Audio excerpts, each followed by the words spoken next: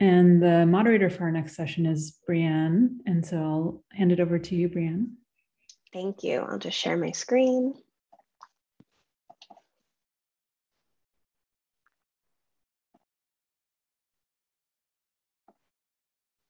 Great.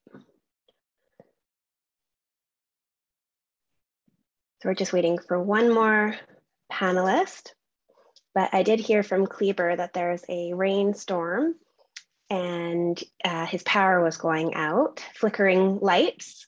So hopefully, oh, they're there. So it looks like everybody's here. Just give another minute.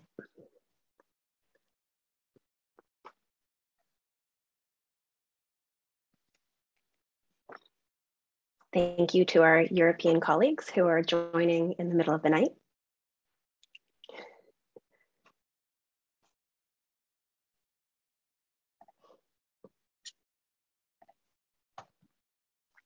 Great, I'll get started.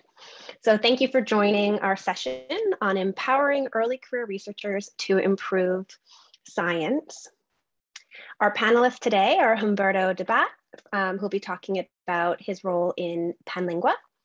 We have Dr. Nafisa Jadavji, uh, who will be talking about her role in reproducibility for everyone. We have Dr. Gary McDowell, um, who's working with Lightoller as a consultant, uh, and we'll talk about his work with Future of Research. We also have Kleber Neves, who will be talking about his role with the Brazilian Reproducibility Initiative. I'm the moderator today, Brianne Kent. I was an organizer of the event that we'll be talking about today that really inspired this panel. And I'm an assistant professor in neuroscience at Simon Fraser University in Canada. I'll welcome our co-moderator, Tracey Weissgerber, who um, is a member of the eLife Early uh, Career Advisory Group and works at Quest in Berlin. Uh, and she was the lead organizer of the event that has inspired this panel. It is uh, very late in Germany, so she's not going to have a formal presentation today, but she's, she's joining us um, just the same, which is wonderful. So this panel was inspired by ideas generated during a global virtual unconference. And an unconference is an unconventional conference which really tries to take the strengths and benefits of the coffee chats that happen at a conference and turn it into the main highlight.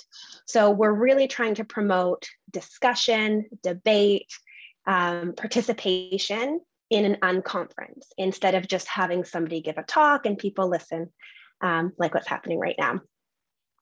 So our unconference had brought 54 invited participants. They were mostly early career researchers who had extensive experience in improving science culture and practice. And the details of the event have been published uh, in an article. I'll give you that link later. Um, but the results of the discussion and the outcome of the discussion of the two days um, are all posted in a preprint on osf.io right here. And the preprint's called Empowering Early Career Researchers to Improve Science. So I'll just start by saying thank you to all the participants who, who attended the event, Wellcome Trust who provided some funding, and a special thanks uh, to my co-organizers of the event, Tracey Weissgerber and Constance, who hopefully is asleep in bed in Germany. So the unconference covered um, four main topics. The first was why do we need early career researchers to improve science? The second was what obstacles do early career researchers face when working to improve science? The third was how can others support early career researchers working to improve science? And we've we let finalized or left concluded with tips and strategies for early career researchers working to on science reform, um, drawing from the experiences of the 54 participants to say what worked, what didn't work, what do you wish you knew um, at the beginning. And so when we say trying to promote science reform or trying to improve science, we really mean, mean a broad range of different topics. So some groups are working on trying to improve and modernize publishing um, with open access journal articles. Uh, other groups are working on reproducibility of science. Uh, others are really focused on changing the rewards and the incentives. Um, other initiatives are focused on public involvement and promoting science communication. There's also those that are trying to increase diversity in science and make sure that there are more perspectives from around the globe. Uh, and as well, early career researcher training and working conditions. So there's just a wide range of topics that we're referring to when we're talking about science improvement and science reform. So why do we need early career researchers to be part of the reform efforts? Well, early career researchers are the future leaders. They're the most diverse cohort of scientists, so much more diverse than their mid-career and senior scientist co colleagues. Early career researchers, because they're early in their career, may be more open to new solutions than more senior scientists who have had their careers, built their careers in the system that, that is now. Early career researchers are also more often on the forefront of technical innovations because they're actively doing the science. They're still at the bench. They're still seeing the innovation that's happening and being a part of it at the bench, in the lab, in the field. Um, and so they're really aware of where changes can be made and, um, and how improvements could actually benefit the science and how it's done. Some early career researchers may also have the time and energy uh, to, to put into research improvement activities in a way that sometimes more senior researchers, more senior academics who have a lot more responsibilities and commitments may not have. And importantly, early career researchers are the largest cohort of scientists. So if we are going to see improvements in science, if we are going to see reform efforts actually come to reality, we need early career researchers to be a part of it. So to learn more about the outcome of our result of the event, please see the preprint. We also have another document on osf.io with the specific tips and tricks for early career researchers working to improve science. And we have an article um, which explains how we brought together scientists and researchers from around the world um, in an asynchronous virtual unconference. So I encourage you to please check out these resources uh, to see more details. But today we have a wonderful panelists who will each um, speak for about five minutes um, about their initiatives and their experience with early career researchers improving science. So I'd like, um, oh, and just to note, please put your questions in the Q&A and, and, not the chat. We'll have Q&A at the end. So um, first up is Dr. Humberto Debat, who is a research scientist with a permanent position at the Institute of Plant Pathology in the Center of Agronomic Research of the National Institute of Agriculture Technology in Argentina. Humberto studies the interface of viruses and crops from a systems biology perspective, and for the past year has worked in the Argentine project on SARS-CoV-2 genomics. Humberto is a member of the Advisory Committee in Open Science and Citizen Science of the Ministry of Science of Argentina and has been an ASAPbio ambassador, an eLife community ambassador, an affiliate at the bioRxiv preprint server, and co-developer of Panlingua, a multilingual discovery and reading tool for preprints in the life sciences. So Humberto, did you want to um, show slides to share your screen? Uh, well, I, I, don't have slides to share. Okay, perfect. Thank you. Great. Thank you, thank you, Dr. Kent. It's a pleasure to be here. So the majority of scholarly work in biology is published in English, the language most of the world does not speak. To help remediate this key issue hindering inclusive scientific dialogue, we built Panlingua, a multilingual preprint search tool intended to enable search and global access to machine translations of all preprints hosted at bioRxiv. At Panlingua, users can enter search terms in their native language and view search results linking to the full text of all available articles translated into more than 100 languages. But language is just one of the barriers affecting global scientific communication, especially among our communities.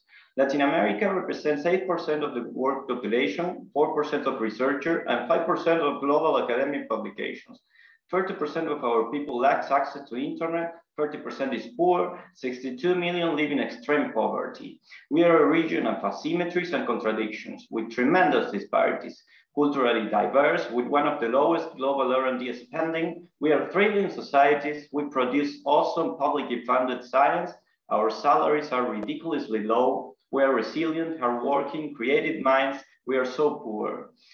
Doing science in Latin America is about passion, empathy, solidarity, community, and responsibility. As we wave our manuscript around with our humble results, balancing visibility, affordability, and institutional requirements, we fight to disseminate our findings wherever we find them fit for months, sometimes for years in disadvantage against all odds despite setbacks. In addition, we are seeing a transition in the publishing ecosystem. The ground is moving. The advancements of the open access movement is a flag towards the democratization of knowledge. Nevertheless, we perceive that this flag has been co-opted by some players in the industry, which have accommodated their business model in a way that could perpetuate the asymmetries of scholar publishing and exclude even more researchers from scholar communications. We are seeing a shift from paywalls to publish walls. We are observing the preposterous inflation and expansion of the so-called article processing charges, which are not only unaffordable for our region, they are unethical. The discussions about APCs transcends open science. It's a discussion about constructive views of academic communication. It's about privilege and social justice. It's about inclusion. To encourage APCs is to view scientific knowledge as a commodity rather than a human right rather than a public good. Brazil spent $36 million between 2012 2016 on APCs, equivalent to the cost of providing sanitized water for a year to more than eight of the 77 million Latin Americans who do not have access to drinking water. I live in a country where 80% of scientific activity is financed with public funds and where 40 of the population is poor. Our graduate students have incomes below the poverty line. This scenario impl implies that it is scandalous to pay exorbitant figures so that five publishing companies that exercise an oligopoly in an imperfect market continue to accumulate wealth. Where we are expectant of where with our 5% of articles will end up, how this figure may diverge. As ECRs, we need to be a part on a shift on publishing practice, encouraging the non-commercial routes of academic communications and supporting the development and maintenance of communication infrastructure led by and for the academy. It is becoming evident that many journals reflect anachronic 20th century pre-digital platforms, elitist, reserved for certain affiliations, valuing mostly mainstream science, even for the few, a chat along, among privileged and highly funded research, many white, many rich, mostly men. I am failing to perceive how the academic publishing ecosystem values diversity, which routes they plan to take to modernize their journals, how are they working to make their venues more inclusive with more gender balance, to be platforms that embrace more voices from the South, where science is a global conversation. Beyond publishing, our funders should be redirecting the resource we spend on subscriptions. 11 Latin American countries spent $100 million mostly uh, uh, public funds on access to academic journals last year. 80% corresponded to the five largest commercial publishers. We're giving millions to read scientific knowledge that should be free. We should immediately cancel this waste of resource in leonine contracts with the commercial publishing industry who has sequestered our scientific legacy. This issue transcends academic publications and involves research assessment practice. We are affected by monopolies of the indexing system and bibliometric indicators that unfailingly accentuated the dichotomy of mainstream and peripheral science, resulting in, as Cameron Needham says, excellent in research as a neo-colonial agenda. I think we have an opportunity in this context to break the vicious circle that commercializes evaluative cultures, to bet on circulation indicators over journal metrics and redirect our indicators towards the public impact of our work beyond impact factors. We must remember that our research agendas must be aligned with the prosperity of our region and not with the imposition of a defined recipe for success in a northern market. We are not in academia to accumulate publications in journals to advance our careers as individuals. Science is a collective enterprise that has to look towards society and understand its demand for knowledge. The way to strengthen our communication system is to align it to our society, to our needs, to our history. The real impact of our research has nothing to do with rankings. Our communication system is a strength if it is faced in society to the extent that it generates inclusion and well-being of our people. And that, I think, is where ECR should lead a wave of change.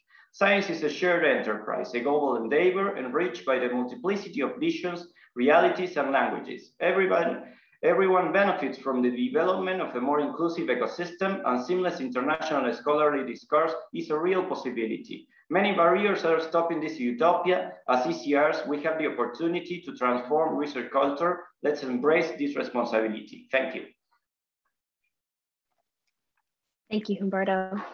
So our next panelist is Dr. Nafisa Jadavji, who is a neuroscientist and assistant professor at Midwestern University and research professor at Carleton University.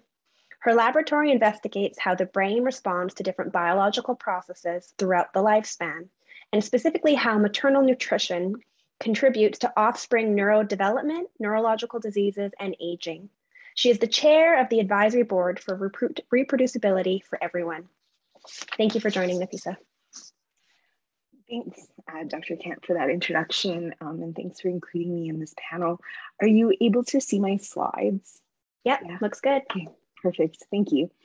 So um, I'm gonna speak a little bit about the Reproducibility for Everyone initiative that I've been a part of for a few, few years. Um, Dr. or Tracy has also been part of this um, initiative as well. Um, so the Reproducibility for Everyone initiative is um, a community-led education uh, program where we try to um, increase uh, the discovery and adaptation of reproducibility tools at scale. Um, and so what we do is we run workshops um, at different um, uh, scientific meetings, um, at um, different institutions to educate individuals about reproducibility tools. And since um, the initiative has started in 2018, we've had about 100 plus volunteers that have run over um, 50 workshops um, across the world. These are international workshops um, that have included over 3,000 participants. Um, so we've been really, really active in getting um, this information out in terms of different tools that can be used by researchers, um, early career researchers um, specifically, as well as uh, um, mid-career or late career researchers in terms of implementing tools in their uh, research laboratories. Um, and why we started this initiative was that there was um, a lot of things that were missing um, in terms of uh, reproducibility in that discussion in the biomedical um, sciences and in other science fields. Um, you know, the majority of researchers being uh, left behind.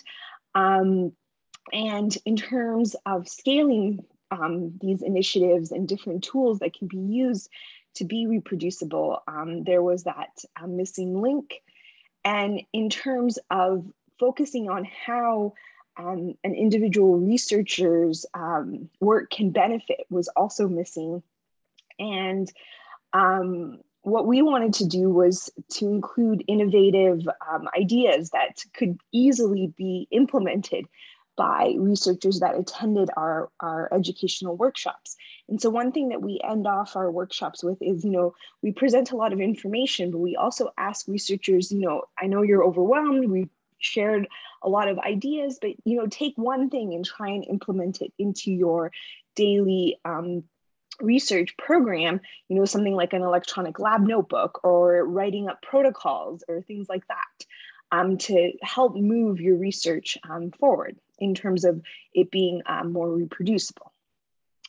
And so these, what our workshops do, which I've hinted at a little bit um, as I've been talking, is that they provide this overview um, of different open projects that um, researchers can get involved in. Um, and what we try and do is we keep our, our workshops to about 30 to 90 minutes and we try and target a really large um, variety of audiences. So in a number of fields, plant sciences to the biomedical sciences, um, and we try to hit all the different career stages because anyone can really implement the tools that we discuss in our uh, workshops um, if that's something that they want to do into their research program. Um, we recently published our work um, in eLife um, outlining our reproducibility for everyone initiative and you know what we do and how we do it. All of our workshop material is freely available on our website. Um, you can also, individuals can also watch workshops that have been recorded. Um, and we often get um, instructors or facilitators for our workshops that have been prior attendees. Um, and so if you're interested in getting involved um, or learning more, please, you know, visit our website. Um, don't be shy. And we're always looking for people to get involved and volunteer in different aspects of our initiatives. So um, we're looking to get a lot of people involved. Um, we have um, some funding from the CZI initiative, um, as well as other sponsors that I'd like to thank um, for supporting us throughout the years and currently um, to let us do our great work and to have a permanent staff member who does a lot of um, the infrastructural work and initiatives. So thank you very much. And I look forward to your questions.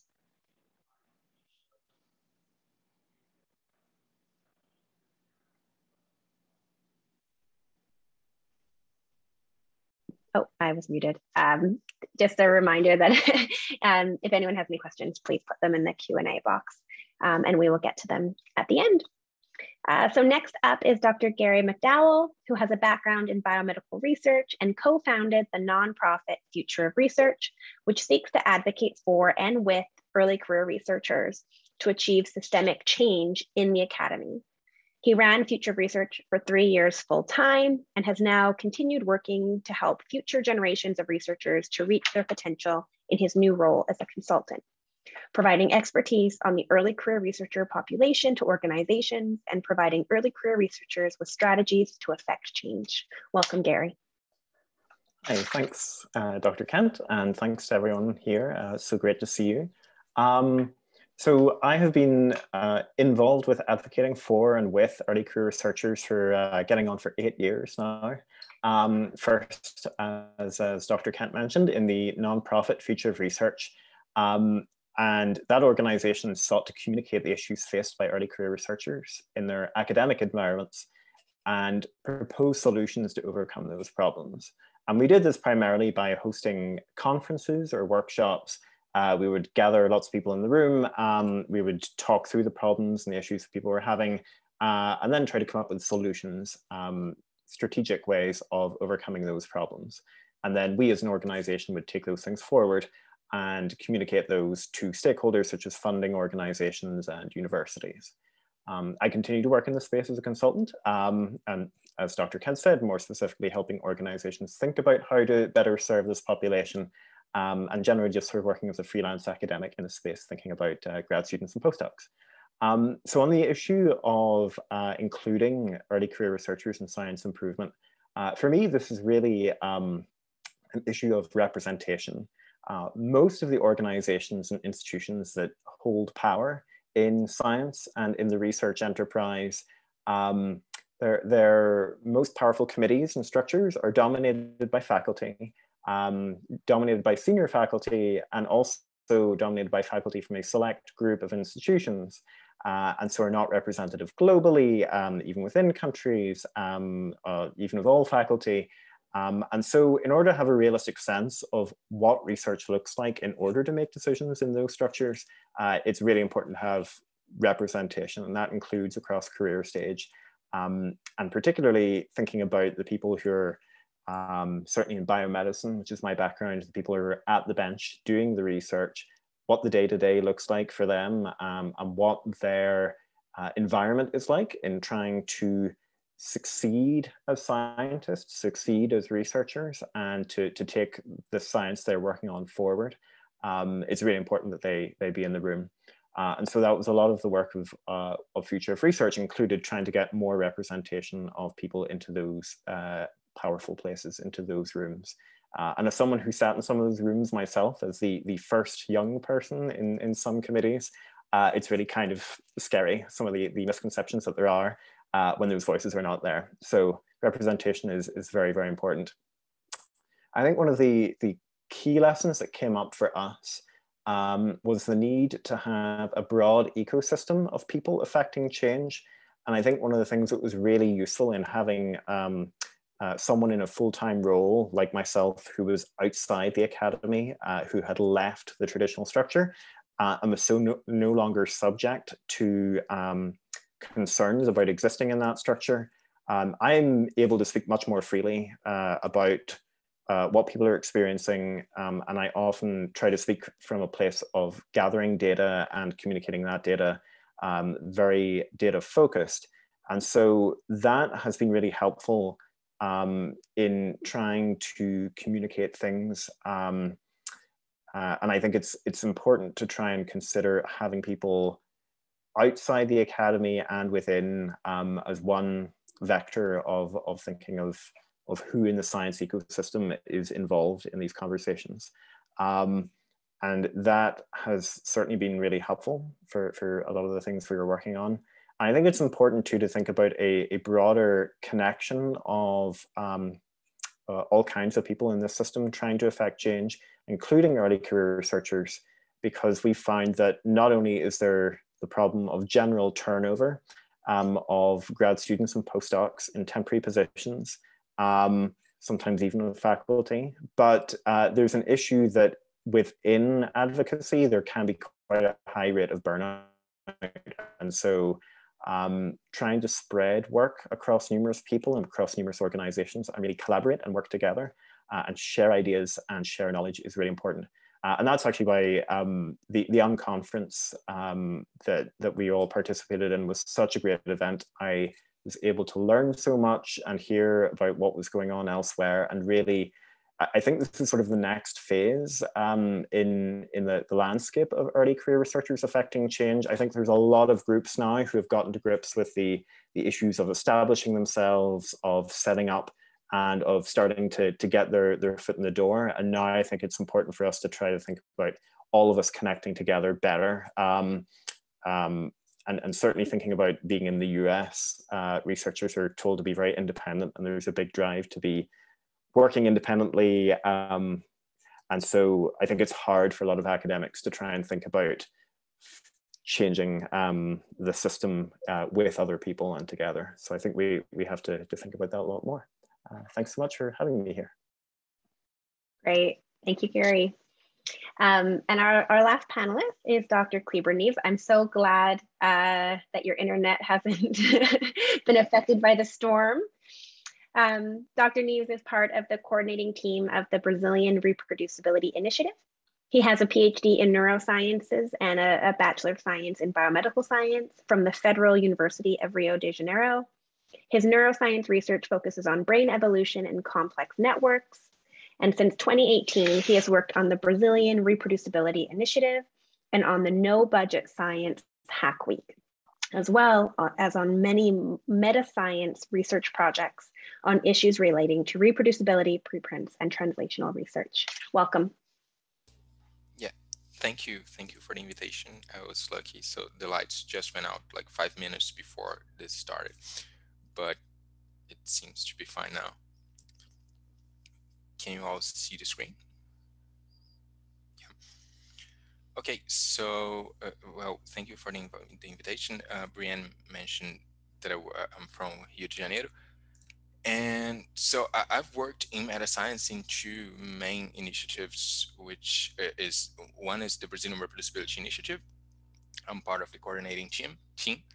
And well, this is a, a replication effort much in, in the mold of, of the ones that came before, like uh, the replication project psychology or cancer biology.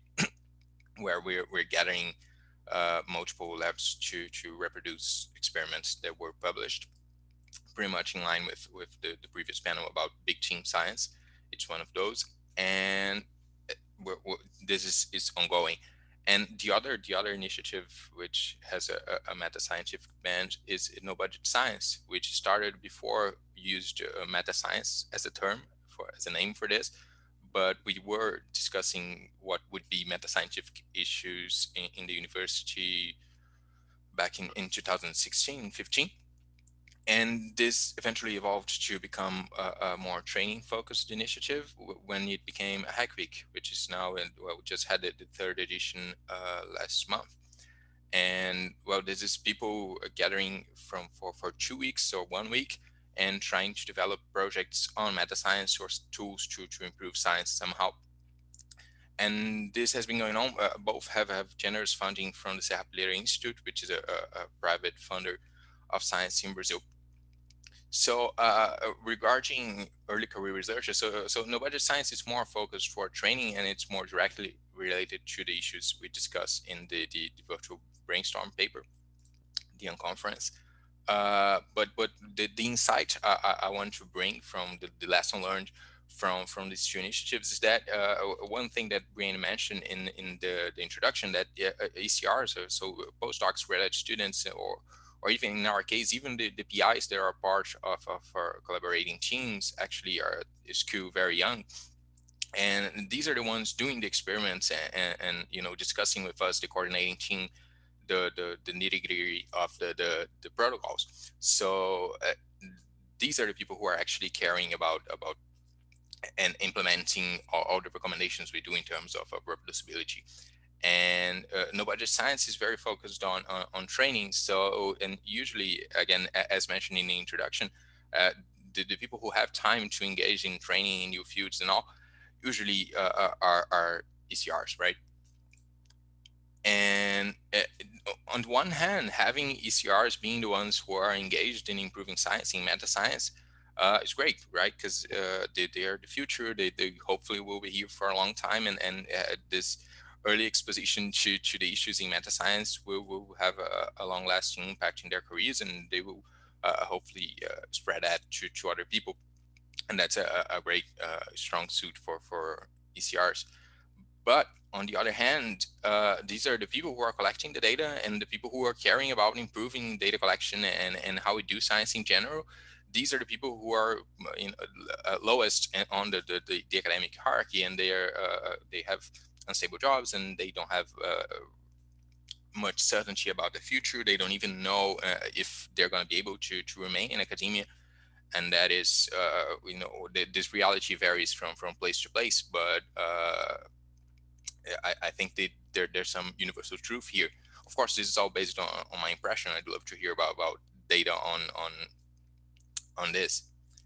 And and one thing we do see in particular, and, and it's made me think a lot, is that uh, from no budget science we get the experience that, that people come and from those two weeks where they're there during the event, the Hack Week, and it's very collaborative, and everybody's on Zoom all the time because we're doing virtual events now, and during those two weeks it's very great and the projects uh, move very fast.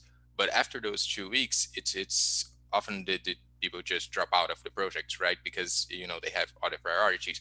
So this has made me think of, of uh, uh, the survival of meta science as a field or, the movement for improving science. If you if you don't want to talk about the discipline itself, but uh, uh, this whole motivation to improve science, if it's really dependent on the motivation and will and free time of ECRs, uh, it's it's not really sustainable because uh, uh, you know it, it, as long as meta science activities are not rewarded people when when when push comes to shove, they will prioritize the thing that gets them jobs and, and, and papers and publications and the things that actually make you you advance your career in academia or, or even the things that give you opportunities outside of academia. And I think this this ties into to uh, one of the first panels in, in, the morning today, or my morning, that uh, that was talking about uh, how we should go about institutionalizing meta science. And I think the institutionalization of meta science, maybe uh, I don't think it's a good idea to create meta science departments, but uh, how meta science will become a, a more mainstream part of, of, the academic structure will, in, in, large part, be determined by or will determine how ECRs will will uh, come in to, to more permanent positions and how they will become a part of academia in the long term. So I'll, I'll, end up on that note, and I, I ask you that you you confirm or disconfirm my impressions that this is the case. I, don't know if there's much data on that. So thank you. Thank you so much. Um, so now we'll turn, well, actually first, I do want to give uh, Tracey an opportunity if to say anything um, or have any comments before we turn to the Q&A. Yeah, I think, um, thank you to all our panelists for joining. I think our goal was to give you a sense of some of the various different things that ECRs are working on and the power that ECR initiatives can have in changing so many different aspects of science. But I would also ask you to remember that this is a really small portion of the participants are in, you know, our original event um, where we had a lot of dynamic discussions about not just what people are doing, but how they are doing it and what we can learn from other ECRs who have been successful in founding initiatives, in leading initiatives, um, in building communities around their initiatives, often in very difficult circumstances. And often these are um, very widespread or global communities, like, for example, Nafisa's example of reproducibility for everyone. Um, and so I think I would really encourage you to use the symposium to ask questions about how to do those things and not just to focus on what it is that people are doing. Great. Thank you, Tracey. So we have one question that's come through the chat, but I do encourage um, attendees to put their questions in the Q&A box um, so that everyone can read it. Uh, so this question um, is for Dr. McDowell. Um, Dr. McDowell, you had made a point that we need to get more organized in the way that we advocate for change. For example, across the various ECR or open science initiatives and organizations. In other industries, unions are a powerful mechanism for organizing individuals to take action collectively, yet we don't have a union for the global research community. Is it time we create an open science union to advocate for progress and researchers' interests? It's a great question. Um, I'm very pro-union generally. So um, I, you know, unions have great power in affecting this kind of change. Um, I think this gets to the, the point of we don't need to necessarily reinvent the wheel. There are people in this world who are very effective at um, at pushing for change, at advocating for change, and it'd be great to like use those structures and lessons in in our own context. Uh, I mean, one thing that this made me think of is I'm really disappointed with a lot of scientific societies right now in this space because um, I am a member of some societies that have been advocating to block my access to papers because I don't work at university. I don't have institutional access to publications. Um, and so, um, you know, I have to get them through Sci-Hub essentially. And um, yeah, I, I find myself in the weird position um, in the States uh, in the last couple of years advocating to the Trump administration, which was one of the greatest champions for um, open publications in the States uh, because of the pushback against, uh, against it from scientific societies and, and publishing organizations. And so I think there is more, it'd be interesting to, to, to think about, is there a need to think about a society that is focused on science rather than um, academics and the, the way academia, uh, protecting academic interests. I, I, was really struck by something Humberto said of, you know, that, that the point of science is to solve problems and to, to, to do this research. It's not to publish papers and it's not careerism. And that frankly is a major reason that I left because it's, um, that is the direction that I, I sadly see things are in. And so I, I think that th this is a, a, super important point of like the what organizations should there be broadly? It it could be a union but is it that there's a problem also with the structures that we have? Gary um, so another question now is for Humberto Humberto sorry. Um, which obstacles do you think affect ECRs um, specifically in Latin America? Like what are the obstacles that are more prevalent for ECRs in, in Latin America? Well, uh, during my short talk, I mentioned poverty, which is a very important issue in the region, that all, which uh, affects uh, broadly all our lives, activities, in, and puts uh, in a different perspective our role as scientists. What uh, Gary mentioned uh, just before is that we have a, a, very important responsibility because we are financed by taxpayer money in, in countries where there is a lot of lack of funding and, uh, and, and, budgets for social and health, etc. So uh, every time that there is some um, funding to do research, you really have to think what, what you should be doing with that money uh, what uh, what is that research going to help your society, the people where you live, and, uh, and of course during the pandemic that that, that has raised it a, lot. It's like we have joined forces with many ECRs uh, in our countries, in, in, in, different regions, to try to, to, to prevent the loss of, of, of life. So that it, it, it's a it's like a different issue. Before the pandemic, we were like thinking in very uh, uh, separated, uh, without a, a, real community, without in, integrating our capacities. And I think that the pandemic has helped us uh, try to understand that we are towards the same path, that, that we all together want the same thing, which is to try to, to, to generate knowledge that, that is useful for our societies. So in that sense, uh, I think that, the, that one of the main issues that we have now is try to convince our leaders that investing in science is, uh, is the best way to try to solve the problems of the society. So a lot of effort that we have to do is try to push into the authorities to try to provide more, more, more, funding for our activities.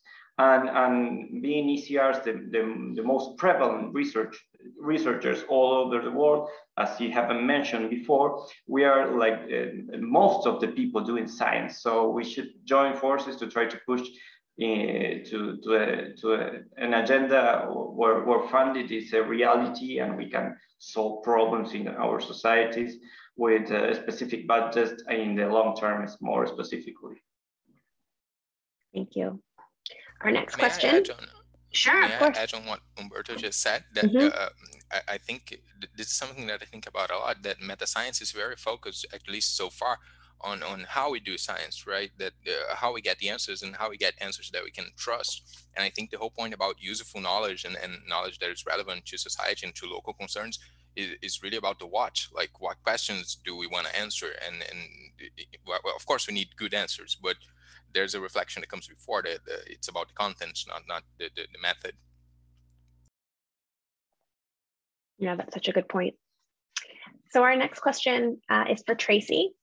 I was watching your presentation on metrics today, and it seems that follow-up of students is good in your initiative and they finish the project. I think that has a huge overlap with the questions raised by Kleber. How you and Kleber think that ECRs could be more consistent with these initiatives, no budget science and your initiative with Quest. So how could ECRs be more consistent with these and follow through? Okay, um, I'll briefly provide some context for those who were not in the in the metrics webinar earlier today. Um, essentially, so I started an initiative through the eLife Ambassadors program called the eLife Ambassadors Meta Research Team, where participants learn about meta research by working together to design, conduct, and publish a meta research study. Um, and I've since translated that into a six month course that I run in Berlin with students from four different Berlin universities. Um, and I think one of the things that's one of the things that's really important in the success of our projects and the reason students are able to finish is that they're all working together on the same project. And so if students are sort of individually working on an idea, um, they get to a point where they realize they don't have the resources. It's going to take a larger team than they have. And at that point, it becomes difficult to proceed with the project, especially if they don't have outside support from their supervisor or others in their lab group or community. And so part of how initiative our initiative works is the fact that everyone agrees that you know we have this goal coming in to design conduct and publish a meta research study um, and then it's also that because participants are often working in small groups, no one wants to be holding the group back. And so everyone is motivated to, you know, keep working and keep moving their part of the project forward. And they see other groups doing the same thing in our meeting every week. Um, and we also use other ways of motivating. So we encourage, like we've done blog posts or other things so that students have an early output to share the work that they're doing or the things that they're learning. Um, the students have in the past found conferences where they can share abstracts and start to talk to their about to other scientists about their meta research. And so those are some of the strategies that we use to keep people motivated and moving forward in our initiative. Um, and I think Kleber can perhaps address the question more related to the No Budget Science Week. Yeah, I actually heard about your, your talk in metrics earlier because other people from the group were there and, and said it was very relevant and I should have been there. But uh, uh, yeah, no, I, I, was actually trying to, to, to learn from you because uh, we, we actually have very, very you know, bad follow up. and we are now experimenting. This is the third edition. We always change the format a bit, and we're experimenting now with, with regular meetings. So one month after, two months after, we will try to, to follow up closely to the projects to see if, if something comes up, if people have a, a, a longer term commitment. But I'll know if this works in, in six months, maybe.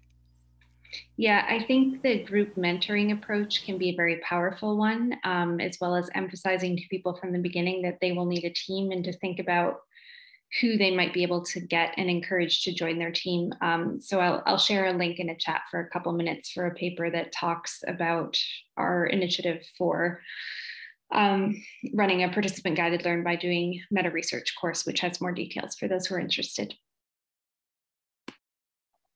Thank you. So the next question I think is um, directed at Nafisa. Um, I am a young neuroscientist, and I have the impression that the scientific endeavor has become about selecting convenient data to publish convenient stories. I think venues like this conference are very useful, but I have the impression that tomorrow I will go to work and life will continue to be about finding significant differences and putting aside what does not go in that direction. How to involve academic directives in the direction of open and reproducible science. Okay, that's a great question. Thank you, Danielle. Um, so yes, I mean, the academic currency is publications, right? And there are journals that are very um, pro significant differences in telling the story. Um, but I think that there is a movement um, about publishing negative data and data that is not, you know, significant. Um, unfortunately, um, this movement is really slow. Um, and there's a lot of resistance to it because we want to, you know, cure X disease or X or, you know, whatever, insert your field of study here. Um, so I think, you know, um, it's definitely hard, a hard place to be as a trainee um, when you're in a lab that maybe is pushing for um, publications and positive data and significant differences. Um, but I think um, what I would recommend or, or, trying to, to, to do is to build a network of people that are more, you know, that might be open-minded towards not that viewpoint and to get them involved potentially with your work um, and to get feedback. Um, I always advocate to my trainees and other trainees and students is to, to build a community or a network of people um, and to get feedback on how you can, um, you know, uh, um, sort of start this change within your area or within your um, school or program or, or whatever, wherever you may be. Um, I mean, it can seem very daunting because the scientific world is, you know, um, very old and some people are very set in certain ways. Um, but I think that if you're able to make some change where you are, then that's um, that's great. That's some people that were affected by your way of thinking about data and that you know it's not always has there doesn't always have to be a significant difference.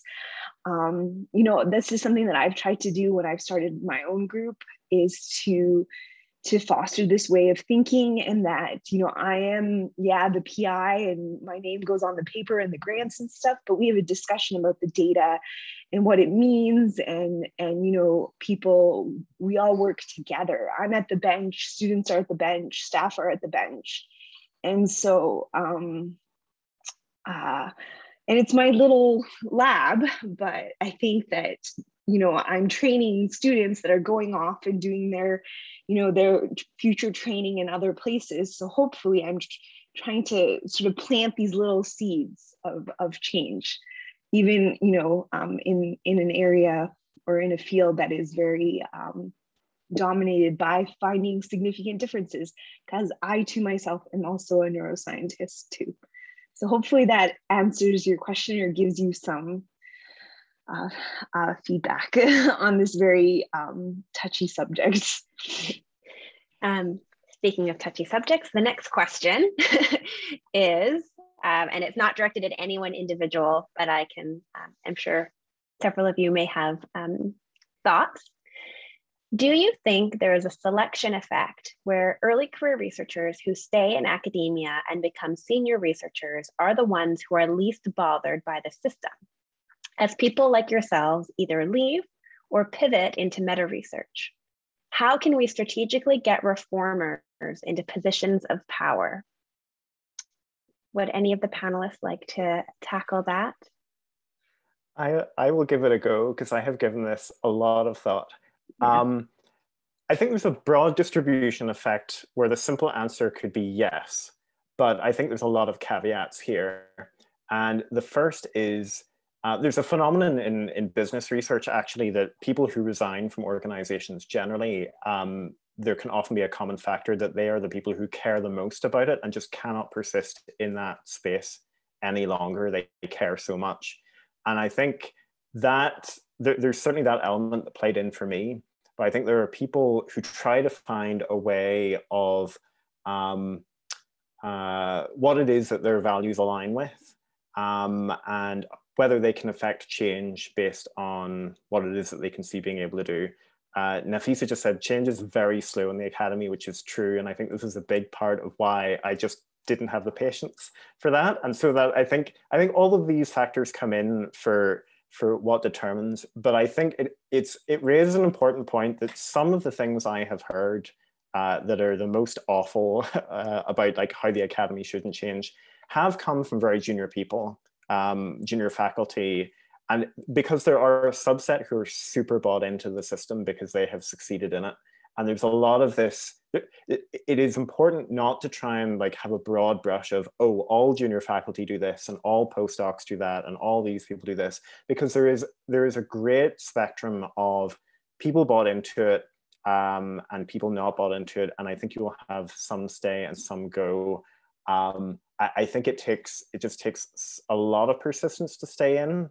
Um, if you also see the system is broken, and so I have my favorite faculty to work with are the ones who are who are like really see the problems and then are also trying to figure out how how to deal with that. But there are some who it's I, I think I think it helps a lot of people not to be bothered by it or you know that they just are bought into the system and that's their way of dealing and so i think that that issue can certainly arise um, and I had when I was leaving, I had people say to me, "Oh, it's such a shame that you're leaving, um, and you know you should stay or whatever." And I was like, "Well, I don't really want to." But also, I think there, I, I think there is a, again, this speaks to the the earlier point of, I feel I'm more helpful outside than I would be inside. I feel I would have been a terrible PI trying to have like mentor people and do work and also try to do this. I don't think I would have been very good at, at, at any of it.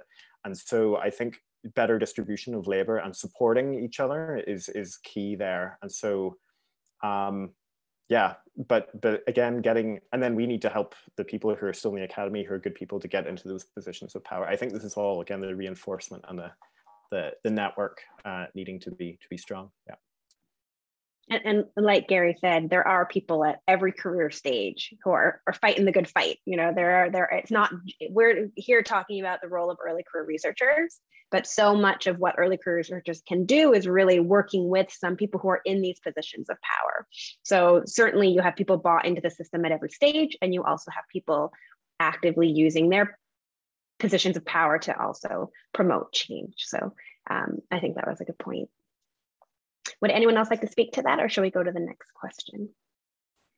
Um, I can briefly add a point. Humberto, very cute dog.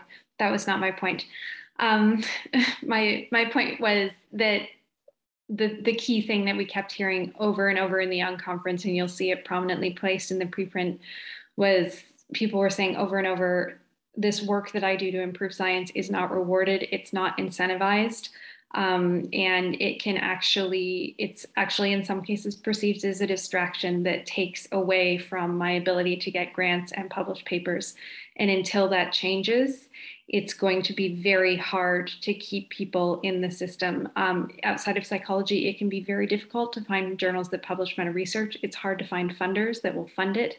There are lots of people who don't think it's research and there are very few um, places where meta researchers can get jobs within the scientific system. And so I think solving that for not just meta researchers, but people doing all aspects of science improvement is really critical to change. I also think that just finding, um, if you can, a space in the system where you can make change is really important for me, I started doing meta science because I was frustrated by people using bar graphs of continuous data just constantly. And so we published a meta research paper on it in 2015, which went viral very, very quickly and contributed to policy changes in a lot of journals. And for me, that really just shifted my horizon of what was possible.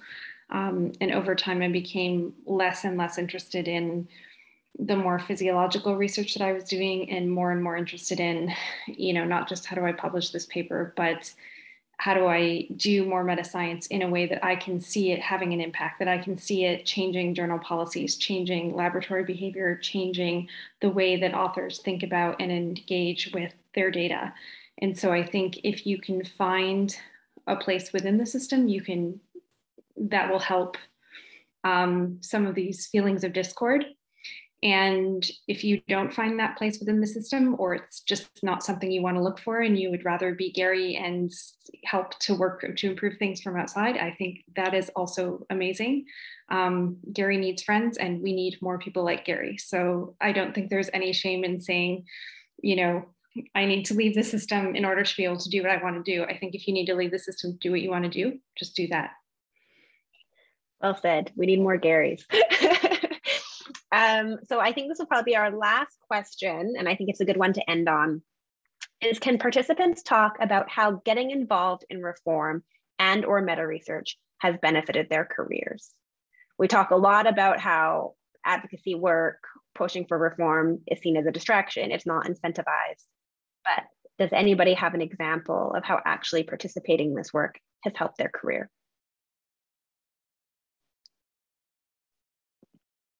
I I can say no, but go. No, if you said please go. Yeah, no, no, no, no please. It's, it's, I want to hear from the panelists. um, I think my work with reproducibility um, for everyone has really, when I started my independent research group, has really helped me um, set up an infrastructure where we can do reproducible science. I hope that's my hope. It's been only a few years. And so I think that's been really great. The friendships that I have made um, being involved in these different initiatives have been amazing. Um, and the support and the different opportunities that have presented themselves have, I think, been really, have enriched my um, uh, scientific career, and I'm grateful uh, for what I've, um, you know, what I've contributed and what I've also, you know, uh, received, I guess, as being a part of these initiatives. Um, so yeah, thanks. Thank you. Absolutely. I think for me, it's growing the network, um, which has led to new collaborations scientifically, new grant applications, invitations to things. Um, that even though often, it, but by some people, it is seen as a distraction from science. Um, I certainly have had the same experience as uh, Nafisa, and there are new opportunities that actually do help uh, my science by just building my network. Any other examples?